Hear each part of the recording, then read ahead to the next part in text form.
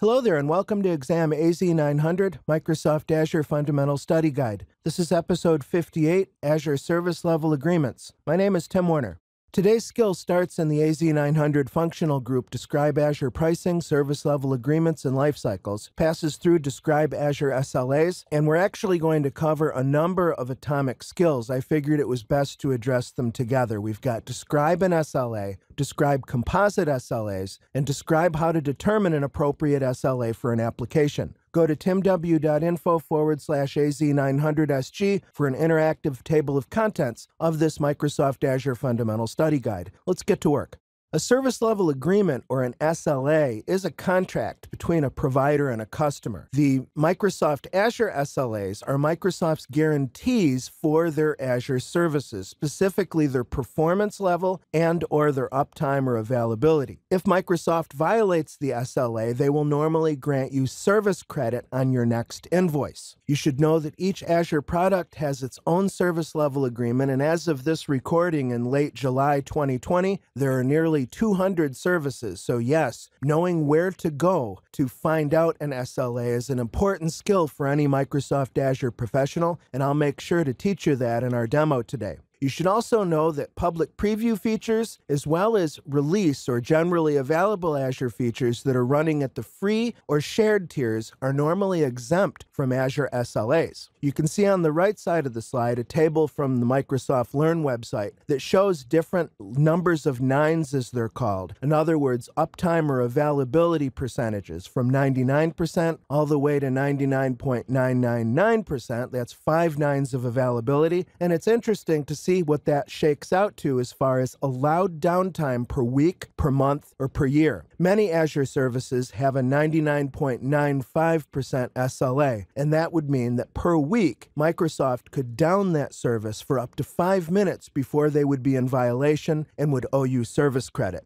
A composite SLA is more real world because let's face it, your solutions in Azure are likely composed of multiple Azure services. On the right side of the slide, for example, we have a web app that's running an Azure App Service. Azure App Service generally has a 99.95% SLA, but the application is actually working in conjunction with an Azure SQL database, which has four nines of SLA availability. How do you determine a composite service level agreement? Well, it's basic probabilities and statistics. What you do is you multiply the availabilities together. So, in order to get a composite or overall SLA for this web application and database combination, we have 99.95 times 99.99, which gives you a composite SLA of 99.94%. So the way the math always shakes out here is that the combined probability of failure is higher than the individual SLA values. Okay, Microsoft maintains an entire website at azure.com for their Azure service level agreements, and that's what we're looking at right here. I normally find this page, well, I have it bookmarked, but before that, I would just do a Google search for Azure SLAs and it'll get you here very quickly.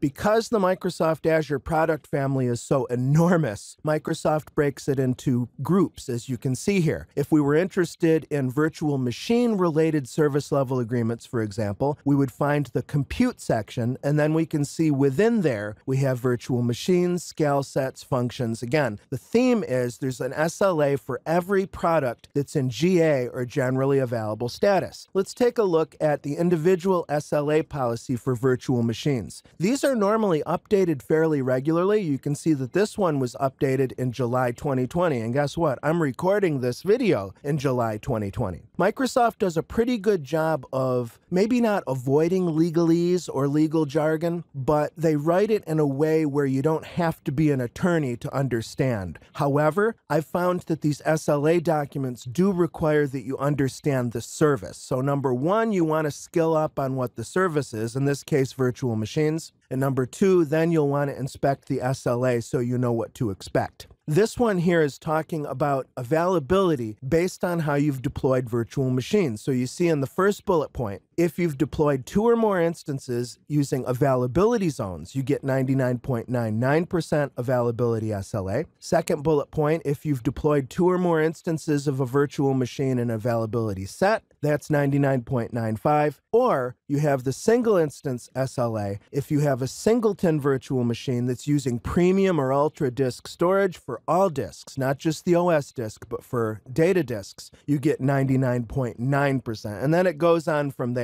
I just wanted to show you a representative service level agreement document so you can get familiar with it. Lastly, in the portal, I just want to come back to something we looked at earlier in the study guide, and that was Azure Service Health. A quick way to see if Azure is having a problem on Microsoft side would be to log into the portal and dial up Service Health. Recall that this will show you by default service issues. In other words, Microsoft side problems that are going to affect your resources because as you can see here, the view is filtered only to the regions that you're using. And while you're here, you can see any planned maintenance events. And it looks like as of this recording, there's some Azure SQL VM service service maintenance. I have a VM that's running SQL, so this definitely is applicable to me. And you can select it and then come down below and read all about it.